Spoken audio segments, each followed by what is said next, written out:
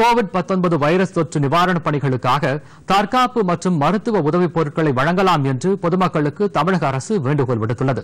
இது தொடர்பாக பொது சுகாதாரம் மற்றும் நோய் தொடர்பு இயக்குநர் விடுத்துள்ள செய்தியில் தற்காப்பு பொருட்களான விசை தெளிப்பான் முகக்கவசங்கள் காலுறைகள் துப்புரவு தொழிலாளர் பாதுகாப்பு பொருட்கள் கை சுத்தம் செய்யும் சோப்பு கை சுத்தம் செய்யும் திரவங்கள் கொசு வலைகள் ஆகியவற்றை வழங்கலாம் என்று தெரிவிக்கப்பட்டுள்ளது.